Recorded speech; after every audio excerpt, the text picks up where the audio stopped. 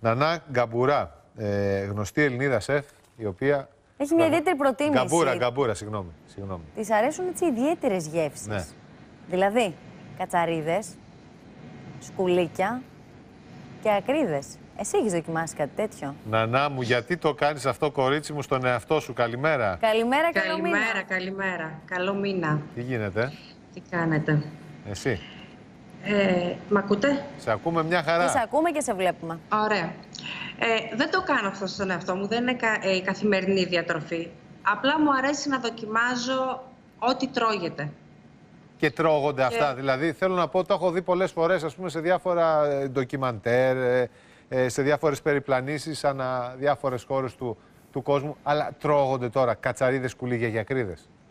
Τρώγονται, τρώγονται παιδιά. Υπάρχουν εκατομμύρια άνθρωποι σε αυτόν τον κόσμο που τρώνε τέτοια πράγματα, αυτή τη διατροφή. Είναι πλούσια σε πολλές πρωτεΐνες. Κοίταξε, αν με ρωτούσες άμα θα το ξανάτρωγα, δεν μπορώ να σου πω ότι θα το ξανάτρωγα με ευχαρίστηση.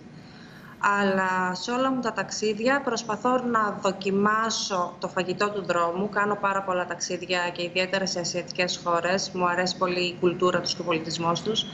Οπότε τρώω και το φαγητό του δρόμου. Γιατί αν πας σε μια χώρα και δεν κατεβείς να φας το φαγητό του δρόμου, δεν, μπλεχ- δεν μπλεχτείς με αυτούς τους ανθρώπους, ουσιαστικά δεν γνωρίζει την χώρα. Οπότε, σε ένα ταξίδι μου στην Ταϊλάνδη πρόσφατο, έβλεπα πολλούς ανθρώπους να κυκλοφορούν με κυπελάκια με αυτά τα τρόφιμα. Λέω αυτοί γιατί μπορούν να το φάνε και εγώ δεν μπορώ. Οπότε το δοκίμασα. Και; Ε, δεν μπορώ να σου πω ότι μου άρεσε. Δεν ξετρελάθηκες εν ολίγης; Όχι, ε, δεν ξετρελάθηκα καθόλου.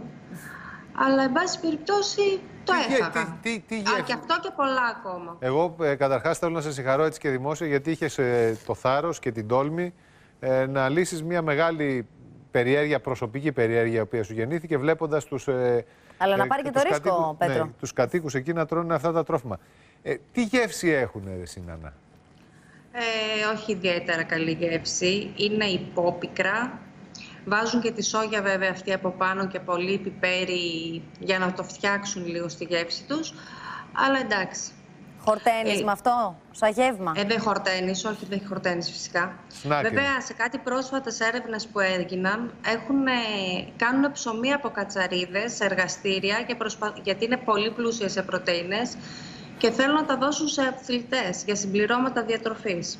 Τώρα τι να Σοβαρά σου τώρα, δεν το γνώριζα. Η κατσαρίδα είναι τόσο πλούσια σε πρωτενη. Ναι, δε, σε, σε Είναι. βλέπω αύριο να έχεις με Αλλά κατσαρίδες. παιδιά δεν έχει Ε, καμία σχέση. τώρα με έχουμε τις μια εισβολή κατσαρίδες από που γάτα ξέρουμε. για αρχή. Ε, σε ό,τι αφορά βέβαια, εγώ αντιλαμβάνομαι ότι αυτές οι γεύσεις είναι πολύ μακριά από τις δικές μας, ενώ και από τη δική μας την κουζίνα, τη μεσογειακή και την ελληνική. Εσύ θα τολμούσες, επειδή είσαι και σεφ, να χρησιμοποιήσεις τέτοια υλικά ε, στην παρασκευή κάποιου γεύματος ή δείπνου; Όχι. Όχι, Όχι, ε. όχι. Δηλαδή δεν θα το έκανα. Σε καμία των περιπτώσεων, έτσι; Ε, όχι, αλλά όπως είναι μακριά από τη δική μας την κουλτούρα, τα τρόφιμα, ε, έχουμε και εμείς φαγητά που τρώμε και είναι μακριά από άλλες κουλτούρες και μας θεωρούν πρωτόγονους. Δηλαδή τρώμε κοκορέτσι, Ναι, που βέβαια. εγώ τρελαίνομαι. Ε, βέβαια. Υπάρχουν Σαλιγκάρια. ε, άνθρωποι... ε, Σαλιγκάρια, μπράβο. Υπάρχουν άνθρωποι που μας θεωρούν κανίβαλοι που τρώμε έντερα, μυαλά, γλώσσες. Οπότε, όπως δεν είναι στη δική τους την κουλτούρα και θεωρούν ότι εμείς αυτό που τρώμε είναι εξωφρενικό, έτσι βλέπουμε κι εμείς αυτούς τους άλλους λαούς που τρώνε αυτά τα πράγματα. Ναι, ε, πραγματικά δεν ε, Ε, βέβαια, πρέπει και να μας ειδικά το- προκαλεί το- εντύπωση. Το κοκορέτσι είχε απαγορευτεί και μια περίοδο. Ακριβώς. Θυμάστε τι είχε γίνει. Βεβαίως. Ε, Δηλαδή είναι καθαρά θέμα φιλοσοφίας, νοοτροπίας. φιλοσοφίας. Ε, τι άλλο σου έκανε ιδιαίτερη εντύπωση από τα ταξίδια σου στην Ασία σε ό,τι αφορά έτσι, την ε, γαστρονομία; Καταρχήν έχουν άπειρα θαλασσινά. Άπειρα θαλασσινά, τα οποία βέβαια είναι άνοστα. Δεν έχει καμία σχέση ο αστακός εκεί με τον αστακό το δικό μας. Ε, οι γαρίδες τους, ακόμα και οι καραβίδες της λίμνης.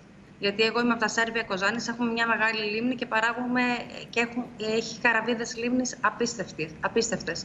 Ακόμα και οι δικές τους εκεί πέρα δεν έχουν σχέση την οστιμιά τη δικιά μας, είναι άλλα τα νερά. Α. Αλλά υπάρχει κόσμος, ας πούμε, στο δρόμο εκεί πέρα που έτρωγε τη σούπα και την έπαιρνε σε σακουλάκια. Σε σακουλάκια τη σούπα. Σοκουλάκι. Σε σακουλάκι τη σούπα, η οποία, ξέρω εγώ, σε ευρώ σε εμάς έβγαινε 10 λεπτά. Άρα είναι Ένα- πάρα πολύ φτηνό και το φαγητό Ναι. εκεί πέρα. Είναι πάρα πολύ φθηνό το φαγητό εκεί πέρα. Δηλαδή, πόσο κοστολογείται το να φας ας πούμε, μια μερίδα κατσαρίδες, μια μερίδα σκουλίκια; Νομίζω 20 λεπτά, ξέρω εγώ, είναι 20-30 λεπτά κάπου εκεί. 20 λεπτά. Έπρεπε να τους πας εσύ, Τίποτα, παιδί μου, με τα ένα δικά, ευρώ, τα- δηλαδή, τα, δικά μας τα έχεις σουβλάκια, τα δικά σκάσει. μας τα κοκορέτσια, το δικό μας το γύρο. Να το δοκιμάσουν οι Ταϊλανδοί. Να καταλάβουν κοίταξε. τι. Τι; Ε, έχουν και αυτοί τα δικά τους. Το street food δηλαδή σε όλες τις χώρες αυτές δεν είναι, δεν είναι μόνο αυτό. Έχουν το street food το οποίο περιλαμβάνει πολλά ψάρια. Είναι πολύ...